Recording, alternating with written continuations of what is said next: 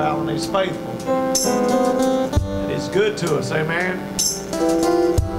Oh, that was awful weak. I said He's good to us.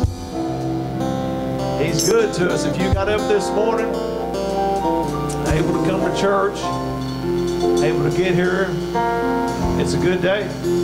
It's a good day. God's blessed you this morning. He's a great God greatly to be praised. And uh, He's a healer. He's a way maker. He's a great physician. He's Jehovah Jireh. He makes a way, Sister Janie, where there seems to be no way.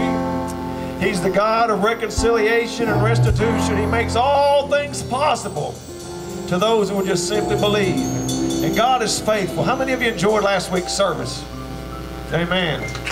Amen. God, go ahead give the Lord a hand clap. He was great last week. He he moved, and uh, I appreciate uh, Pastor Val and all the efforts that went out from everybody to uh, pack the pews and stuff. But with just a little bit of elbow grease, Sister Glenn, we could do that every Sunday. right. We could fill it up. So let's don't just sit back on one Sunday and say, what a great service and what a great crowd we have. And Sister Ken, we can do that every Sunday. But God moved last week, and I appreciate uh, Pastor Val being faithful. He prayed over several different ones, and I'm going to embarrass Sister Christy uh, right quick if she'll come up here. and I she can't act like she don't like to talk because I know she likes to talk. now, I'm not trying to embarrass you. You can stay down there, but but uh, Pastor Val prayed for you, right? This past, just give us a little bit of all. Well, I've been going through a lot.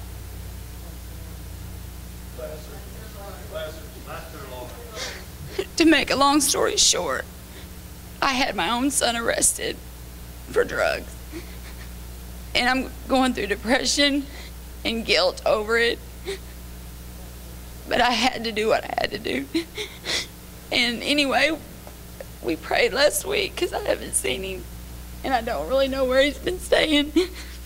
But we prayed last week, and I finally just gave it all to God. And he told me that I would see Chance or talk to him and to text Brother Todd. And Alan and I got home, and within 30 minutes, he came through the door. Oh,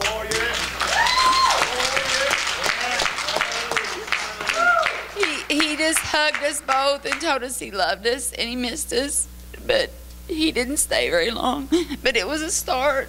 So just please pray for us and pray for my son Chance because he he's lost right now.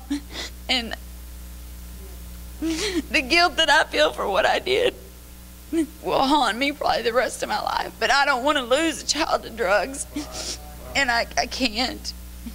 And if it wasn't for my family and you all and Carolyn and Alan, he, he's so strong. He puts up with so much. Pray for him because he lives with me every day. And I'm just lost. And I don't want to get out of bed. But anyway, yeah, last Sunday, I text, he told me to text Brother Todd when it happened and it would happen. And it did. And I mean, it was like 30 minutes after we got home from church. So thank you all so much. God's great. Thank you. Amen, amen, amen, amen. Oh, you could do better than that. You could do better than that. If that was your child, if that was your grandbaby, if that was your son, if that was your daughter, you'd be running all over this place this morning giving God glory. He's faithful this morning. He's faithful. No weapon uh, formed against you shall prosper. Hallelujah. Hallelujah. Brother Chuck, come here, buddy. No, your mama didn't tell me.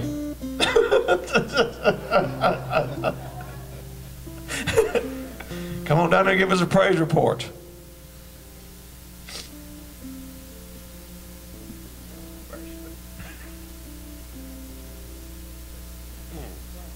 Well, I don't like talking in front of people. I just want to thank God. Um, had amazing results at the doctor this week, and uh, at, at first there was a, a little bit of a scare, and uh, but God is faithful, and I just want to give him all the praise and uh, just want to say thank you, Lord, for my healing. Thank you, Jesus.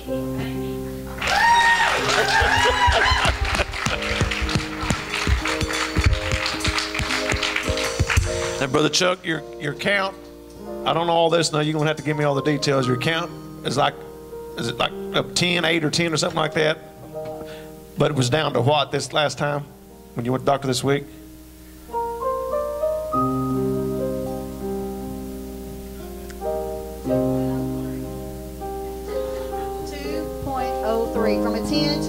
another. Amen.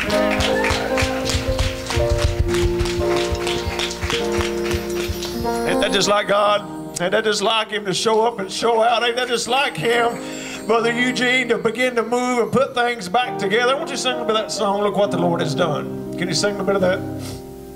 Play a little bit of that, Brother Guy, Brother Keith.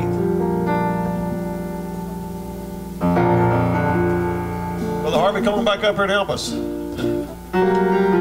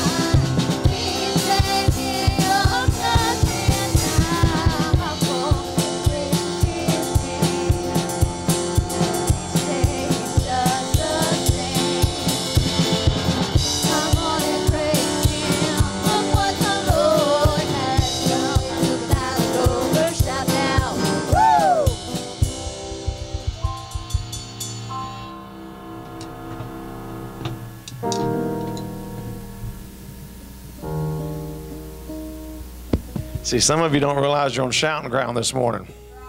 Amen. Some of you don't realize that you're on shouting ground. That just because things may not be going right for you this very minute, don't mean victory's not on the way. Now, that's for somebody this morning. I don't know who that's for, but it's free. Victory's ours this morning through the blood of Jesus, through the blood of Jesus, through all He desires for us and what He wants for us and what He has laid out before us. The scripture, I love the scripture that we use in Sunday school this morning, was in the in the Sunday school uh, lesson this morning. The footsteps of a righteous person ordered, orchestrated, Sister Valley, by the Lord. He, he, he directs our footsteps, our pathways. If we acknowledge Him and we bless Him with all that we have and all that we uh, want to be in Him, He'll direct our pathways. And nothing, nothing is is over till God says it's over. Amen. No matter how bad circumstances look, or no matter how bad the doctor says it is, it's not over till God says it's over, Sister Tara. It's not over till He finally puts His hand on it and says it's finished or it's done, Brother Keith. And I don't know of anything He wants it, wants to be done in our lives except victory. Except victory. He wants victory for us, and through the blood of Jesus uh, we will be successful. We will have all the things that God wants for us and desires for us if we stay faithful and stay on the old song says, stay on the firing line. Uh, we'll look at word just for a few minutes before the time gets away from us. We'll take up offering at the end of service this morning. Do want to continue to pray Brother Bobby. Someone his babies is needing prayer this morning, his son. So I want to pray for his son this morning. Sister Beverly text or during Sunday school and said Bo's been sick since Thursday. So remember these two. There may be some more we'll take up at the end of the service. We'll remember these two, though they come to my mind just been up here. But do want to look at something this morning that kind of, I guess, reflects back from uh, last week maybe. Uh, it was not a continuation, but I guess just a reflection of back. If you have Bible, want to turn to Daniel chapter 10. And very familiar scripture. Sister Linda used to sing this song years ago. Uh, I won't ask her to sing it this morning, but she used to sing it. She's a uh, story of Daniel, and we're not going to go into all that, but uh, there's power in prayer this morning. Amen.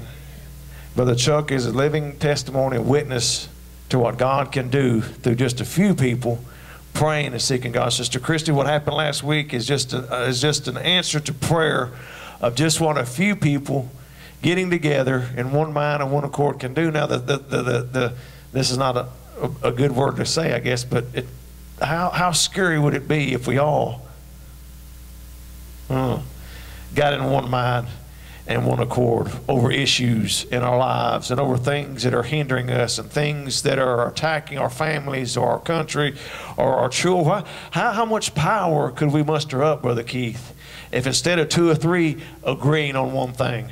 Mm. That if 50 or 60 agreed on one thing, how much more power would fall from heaven if two or three can get something done? Uh, how much could get done instead of standing on the verse of saying we just need, uh, Brother Eugene, the faith the size of a mustard seed? Uh, to move a mountain and say, be moved into the sea. Oh, we should get tired of just having the mustard seed faith somewhere along the line, Brother Davy, and say, you know what, that's great. It moves mountains, but how much more could be done? if we grew up off the mustard seed faith uh, and start having great faith and started having victorious faith and start having faith that we're, the, that we're people of faith and we walk in faith, we believe and trust God for all these things, and we, we get up to a place where, you know, we don't, we don't, we aren't, we're not surprised when things happen. We should come to a place where we're not surprised when God moves in our behalf. We say, oh, yeah, I knew he was going to. Oh, I believe that. Uh, I expected that. Uh, we, we prayed it was going to happen. Hello, somebody. We had the faith to believe. Uh, we knew it was going to transpire. We knew they'd get saved. We knew they'd be healed. We knew they'd come to church. We knew that mountain to be removed. Why? Because we prayed with the power and the faith that God has established through us through his son Jesus. Daniel gives great illustration here of the power of prayer. Daniel chapter 10 Lead you with a story this morning. There was a large church had an organ that they played organ music in the church, and it broke down on a Sunday morning just before the service was supposed to begin. Remember, the congregation happened to be uh, able to work on pianos and organs, so he uh, snuck up and got in there and began to work on the instrument, began to work on the organ. Found out as he got up there it was a simple electrical problem. When he finally got it fixed, just about in the middle of the sermon, he quietly slipped a note to the preacher. He opened up and said, After prayer, the power will be on. Oh, hello, somebody. You need to get that in your spirit this morning. After prayer, the power will come on. After prayer, the power will come on. Well, if we could just get there. But most of us live on this side of the illustration. This is supposedly a true story of a Welsh woman who lived in, over in, overseas, and she went to a great deal of trouble, lived out in the middle of nowhere, and, and, and a great deal of trouble and expense to get electric power installed all the way to her home. And after all the all the legalistic things and, and, the, and the work of the labor, after a couple of months, the electric company finally got everything lined out for and they got it all worked out there, and they got electricity all the way out to her house, and then they began to watch the bill, and all of a sudden, Brother Chuck, they realized the meter wasn't moving. Wonder if something was wrong. She went through all this trouble to get electricity out to her house and all the expense and all the labor. And as finally as the electric company got it all the way out to her house, they realized she wouldn't burn hardly any electricity at all. So of course, they were losing money. Thought, well, there's got to be a problem out there somewhere. We'll go out there tomorrow and see what's going on. So they, they came up to her after a couple of days of talking, everything knocked on the door and said, uh, We just want to check with you. Said, The meter's not working. Said, It's barely moving. You're not hardly using any electric at all. Know if there was a problem. The woman said, Oh, no. We're quite satisfied. See, we turn the electric on at night to turn our lamps on, and then we turn it back off.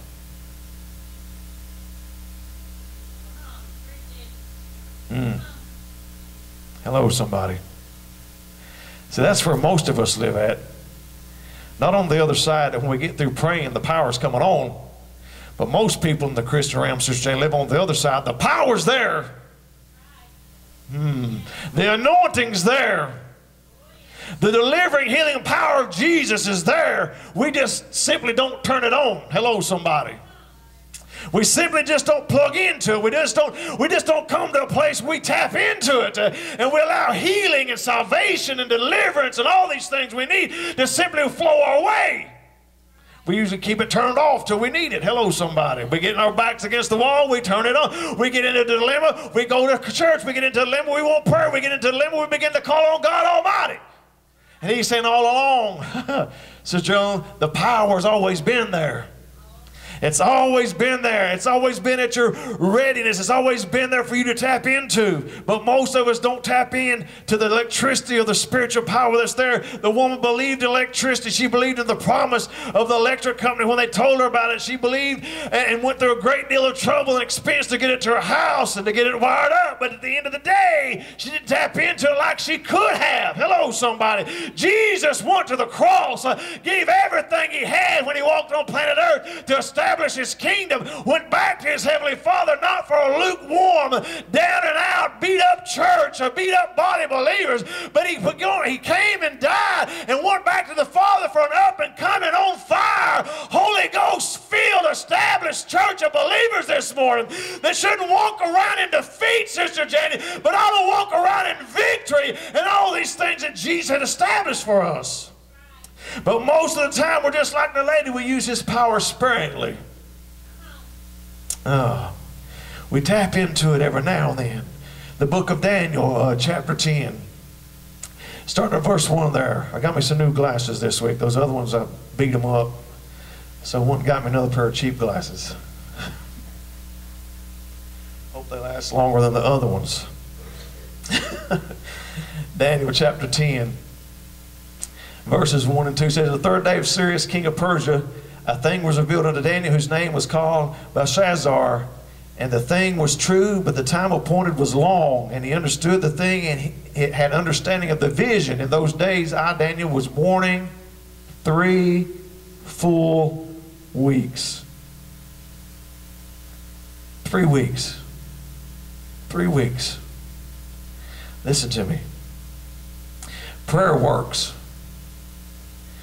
Prayer works. There's not, there's not, some- there's not a one of us in here that can't go back to a place in our life that where we can't point to a certain situation in our lives and say, that was prayer. God, Jane, intervened at that moment in our lives. There's not a one of us in here that can't say that over a sickness, a disease, a family situation, whatever it might have been.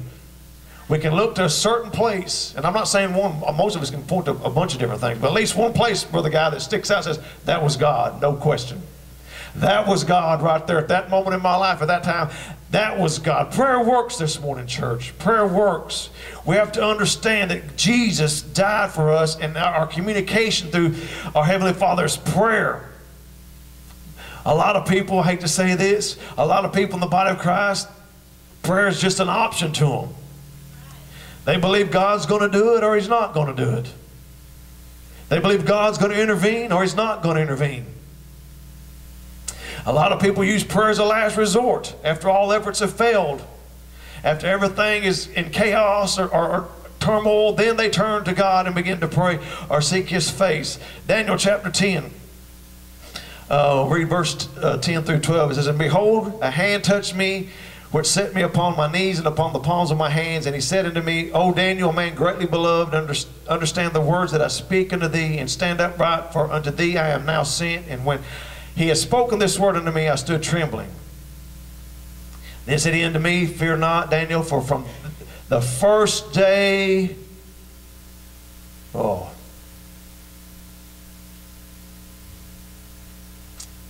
need to look at that. Fear not, Daniel, for from the first day that thou didst set thine heart to understand and to chasten thyself before God, thy words were heard, and I am come for thy words. Whew. See, some of you need to get that in your spirit. Just because the answer didn't come, Sister Kim, the first time we prayed, doesn't mean the words didn't make heaven. Hello, somebody. Just because you prayed and nothing's changed yet doesn't mean the answer's not on the way, Brother Eugene. Hello, somebody. Oh.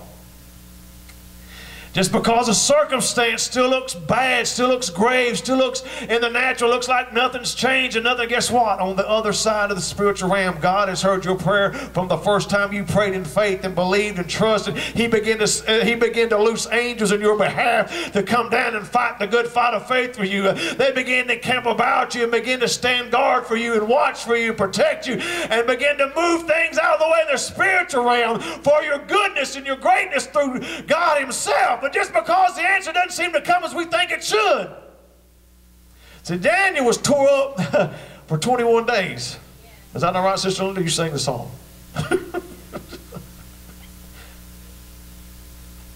Twenty-one days. I still got ten minutes. So you're gonna have to hang on for a few minutes.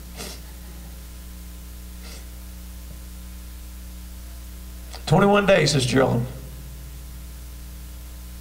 Now the heavenly host said, "I heard you the first time it left your voice. I heard it. I heard the first. As soon as you uttered those words, Dan, I heard." But see, what we have to understand that, Brother Eugene, we're in a spiritual battle. And the enemy comes to do three things steal, kill, and destroy. And if he can destroy your faith, your hope, and your belief that God can do the great and miraculous, then he's accomplished what he set out to do. And when you begin to pray, when you begin to pray, Brother Allen, Sister Chris, when you begin to pray for Chance and Trace, when we begin to pray for our sons and daughters, I don't care who you are this morning, when you begin to pray for your healing, when you begin to pray for God to move mountains and obstacles in your life, guess what happens? He hears the prayer for the first time you left your. But here's the thing about it we don't see on the other side. The enemy takes notice. He begins to say, I'm going to do anything I can to stop your answer. I'm going to do anything I can to destroy your faith and your hope in God. Oh. He prayed 21 days. What would have happened if he had quit on the 14th day? Hmm. What would happen if he quit so short on the 18th day? What would have happened if he quit on the 20th? We don't know. But think about it, he didn't quit. He didn't quit. He didn't give up. He didn't quit fighting the good fight of faith. He didn't quit seeking God and uh, God Jehovah. He didn't give up Sister Geraldine. He believed God and trusted God. He knew God would intervene. And even though the enemy began to put up, try to put up borders and boundaries and stop the answer, guess what? God said, I'm on the way. The answer's on the way.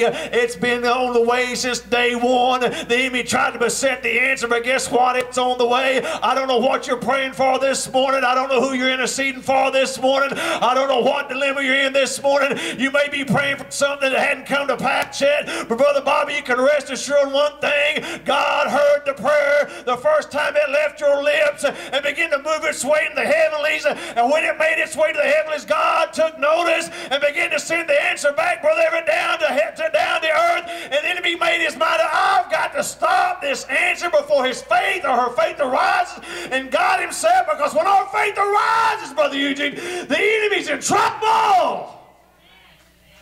Hello, somebody. When our faith arises, the enemy's in trouble. When our faith gets established and rooted and grounded, Sister Gerald, in God Himself, and we, we, begin to, we begin to trust God, and we begin to just take Him at His word, and we begin to walk in faith and not in sight, and we begin to begin to be people of faith and prayer. The enemy's on shaky ground. He's on shaky ground. He knows his stronghold is far. That's why, oh, how much time I got? That's why, listen to me, that's why when you pray for people, they get worse before they get better.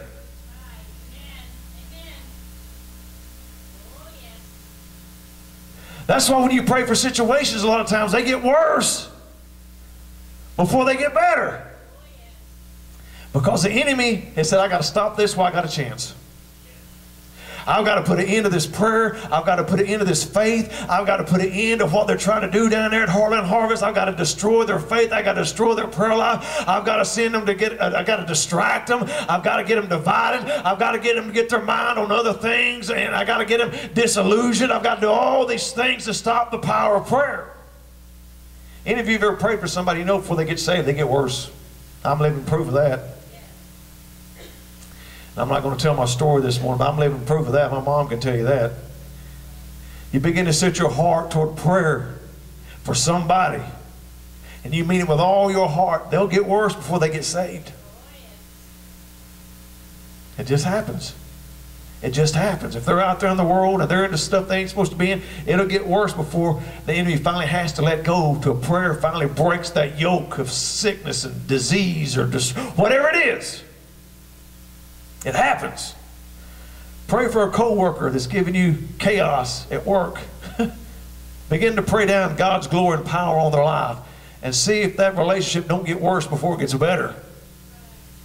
If they're already mean to you at work and you start praying for them, they'll get a little bit meaner before they get right. Amen. It happens. It happens. It happens. There's power in prayer. We begin to trust God and begin to be the people that we should. Everybody knows this. For sake of time, we'll turn to Luke chapter 18, verse 1 through 7, the story of the unjust judge.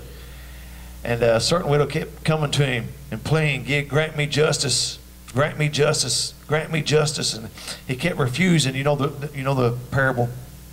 Finally said in himself, even though I don't fear God, I care about men. Yet because this widow does what?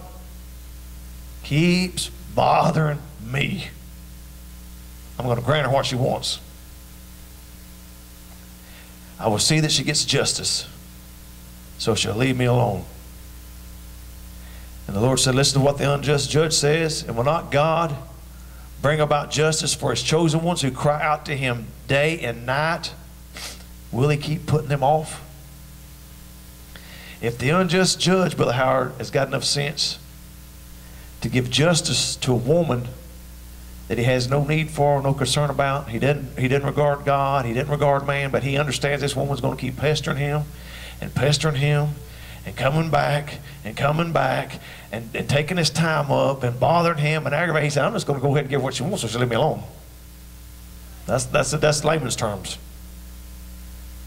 And the word says, How much more will God avenge, avenge his own who come day and night?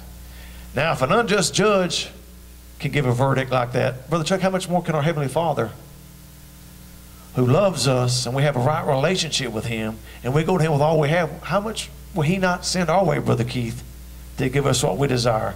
Story goes like this three year old little boy. This is from Paul Harvey, those of you who know who Paul Harvey was. Went to the grocery store with his mother. Before they entered the grocery store, she said to him, Now you're going you're not going to get any chocolate chip cookies, so don't even ask. How many moms and dads have said that to their kids when you go into the store? Raise your hand, we've all said it. You ain't getting this, you ain't getting candy, you ain't getting something, but they usually end up getting it. there we go. We got some, got some. There we go. Told him, said, don't even ask. She put him up in the cart. He sat in this little seat there in front of the cart, and they began to go up and down the aisles. Well, guess what happened? They, were doing fine. They came down the aisle with the cookies. He saw the chocolate chip cookies. He stepped. He said, "Mom, can I have some chocolate chip cookies?" No. I told you before he came in here. No, don't ask. Sat back down in the seat there, went up and down the aisles, had to come back down the aisle with the cookies. Stood up again, Mom, can I please have some chocolate chip cookies? I told you no. That's what I mean. No, not getting any. Come back down the aisle again, searching for something. Asked again, Mom, can I please have some cookies, some chocolate chip cookies? No, sit down, be quiet, you're not getting any. Finally they got to the checkout line. Getting ready to check out. The little boy sensed this might be his last chance. so they got into the line. He stood up in the seat in the cart and he shouted at the top of his lungs, In the name of Jesus, can I have some chocolate chip cookies?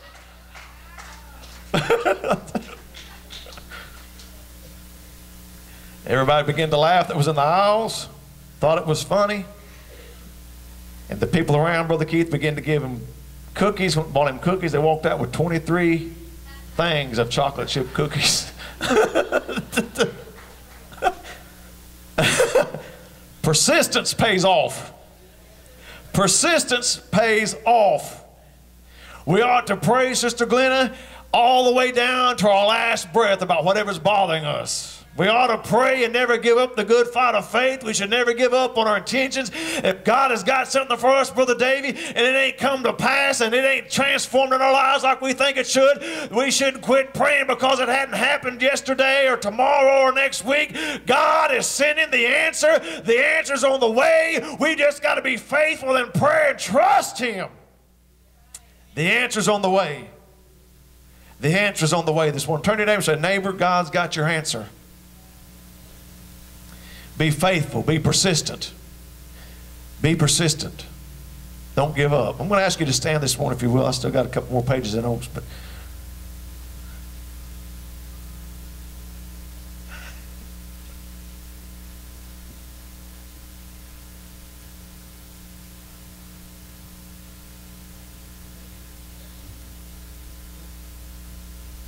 This morning, I don't know what you're going through. But God knows what you're going through. And maybe you're here this morning and you're still praying for an answer, you're still praying for something, you're still praying for a need. But guess what? The answer's on the way. The answer's on the way.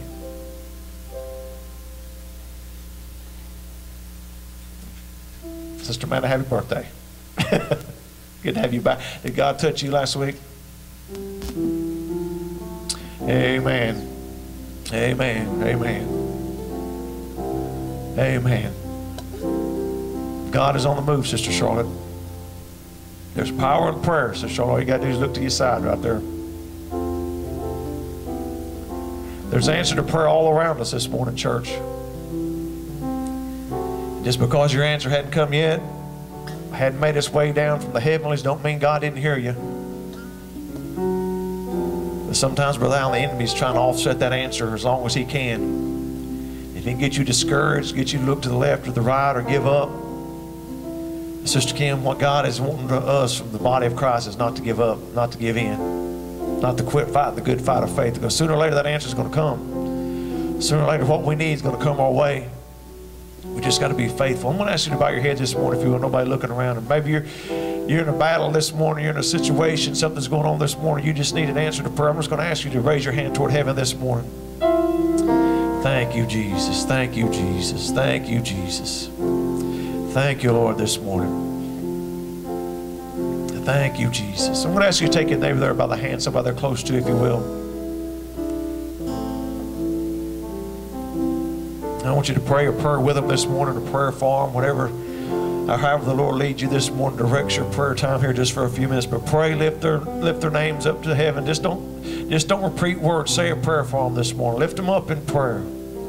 You don't know, or maybe you do know what they're going through. Maybe you don't know what they're going through. If they're going through something this morning, maybe they're about to give up on an answer. Maybe they're about to give up praying for whatever situation it may be. But you know what? Daniel stayed faithful for 21 days. Don't give up one day too soon for your answer. Don't give up one day too soon. Don't give up one hour too soon. Don't give up one minute too soon. The answer's on the way. I'm going to ask you to begin to pray with that one there with you on each side, if you will. Blessed Jesus, Master, as we come to your throne of glory and grace this morning, Lord, we thank you, Lord, for these testimonies this morning, Lord. Lord, we thank you for touching, Lord, your people here at Heartland Harvest, Lord, and blessing, Lord, our congregation, blessing our church family, Lord. And we know there's other miracles in the midst. We know there's other answers on the way. We know there's other healings. We know there's other salvations, Lord. We know there's other deliverances, Lord. We know that everything we need is set before us, Lord, if we continue to be faithful and persistent in prayer and we don't give up. Jesus, we plead your blood this morning over every heart, every home that's here this morning, Lord. We look to you, the author and the finisher of our faith. Lord, we trust you this morning with every need. Lord, if it's a physical need this morning, we know the answer is coming, Lord. If it's spiritual, oh God. Lord, whatever it may be this morning, Lord, we know you've heard us for the first time we prayed, Lord. Now we just wait on the answer, Lord. Heal your people this morning, Lord. Set the captive free, we pray, Lord. Move on, we pray, the body of Christ this morning, Lord. Not just here at Heartland Harvest, but around the world, Lord. We ask you, Lord, to strengthen the body of Christ, Lord. Lift us up, oh God, we pray. Minister to every need, Lord. Every situation, Lord, we lay at the foot of the cross this morning, Lord. And Lord, though the situation may have not changed, Lord, in the last two or three days, Lord, we know it's going to change. Because we know in the spiritual realm you're beginning to move. Lord, you're lining up angels to fight on our side. You're sending reinforcements, oh God.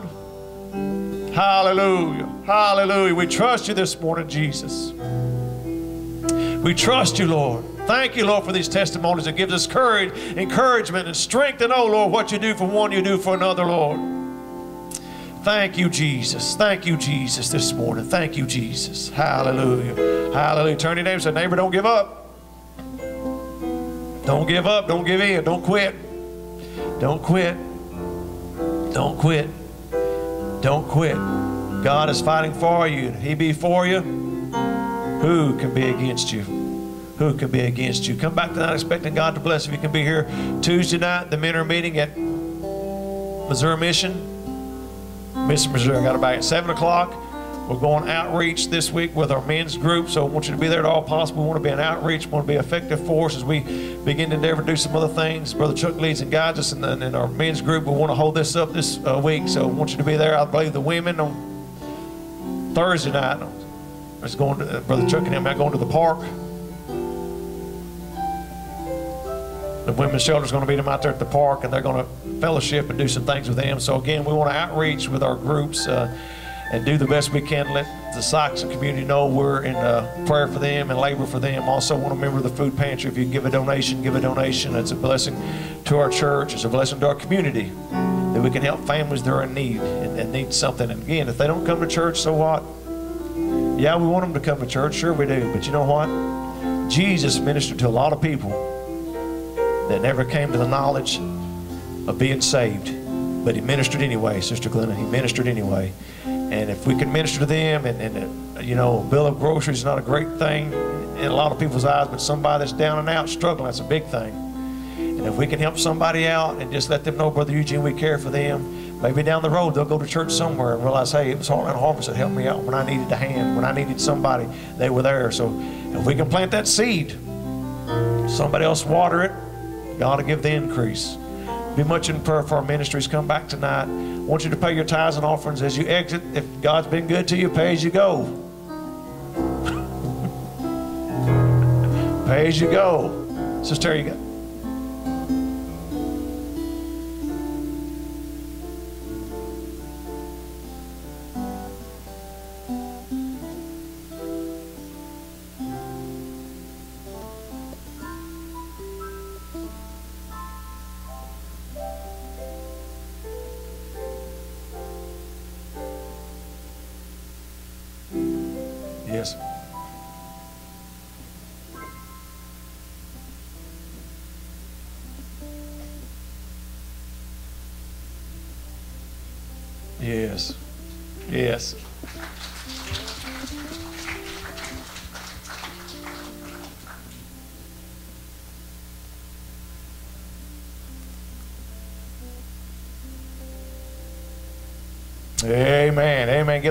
Clap of praise. God is on the move, and we're going to move as He moves and directs us.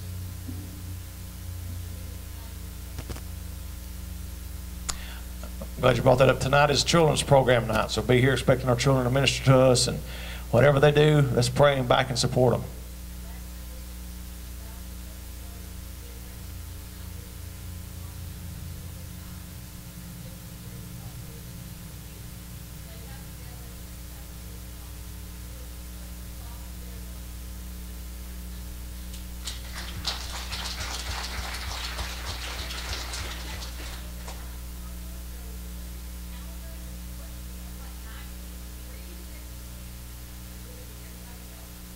Also next, also next Sunday be church in the park. I want to remember this. So we'll be in the park next Sunday. Have I got the dates right? Yes, next week. Had to think for a minute. So we'll be at Blodgett Park next Sunday morning. We do this once a year. Usually we do it in the springtime. Time got away from it this year, just busy and stuff. So we're going to do it in the fall. I want you to be out there. We'll start at 10 o'clock like we always do. We'll probably combine the Sunday school. Then we'll have worship. Got a guest speaker coming in to speak to us. Then afterwards, we want you to stay for food, fun, and fellowship. All right, stay around, just make plans, hang out, do whatever, but come back next week. It's be a little bit different. We'll do this every year. Uh, it's good. Again, uh, I've said this, and I know when Brother uh, Pence was here, and uh, I can't remember who's on the video, but they all said the same thing. You know, if the church is not visible, then we're no effect. Amen. We need to be seen in our communities. We need to be seen doing something, be on fire for Jesus in ministries, whatever it may be. But be much in prayer. We're going to stay busy up now till Jesus comes back again. Special service night, six o'clock. Children in charge. Be much in prayer for this. Support them, back them. If this, I say it all the time. If it was your daughter, your son, your granddaughter, your grandson, you'd be here with bells on, smiling ear to ear. So come and support somebody else's child tonight, if all possible. Again, stay connected with us, through Sister Minnie or Sister Amanda, which one is. Stay connected with us through our website. All kind of things going on on the website. Uh, so uh, stay connected with us. We don't know who out around the United States or whatever, Brother Howard may be watching the videos or whatever's going on at Heartland Harvest. So if we can touch anybody, somebody, everybody, whoever it may be, but if we can reach somebody through this, it's worth it all. So be much in prayer. Stay connected with us. Anything else, right quick? It is good to have all of our visitors. I start naming names. I'm going to miss somebody, but it's good to have you here. If I miss you this morning, guess what? Jesus didn't miss you here. He knows you're here. He's the one that counts.